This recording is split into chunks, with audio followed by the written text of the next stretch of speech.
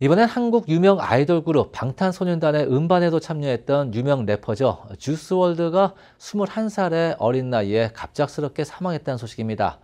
네, 캘리포니아에서 출발해 어제 오전 시카고 미드웨이 공항에 도착한 래퍼 주스월드가 발작과 함께 피를 토하며 쓰러졌는데요.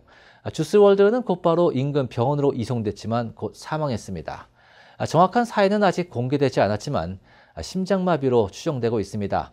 특히 주스월드는 최근 전 세계에서 뜨거운 인기를 모으고 있는 데다 21살의 젊은 나이라는 점에서 안타까움을 더욱 자아내고 있습니다.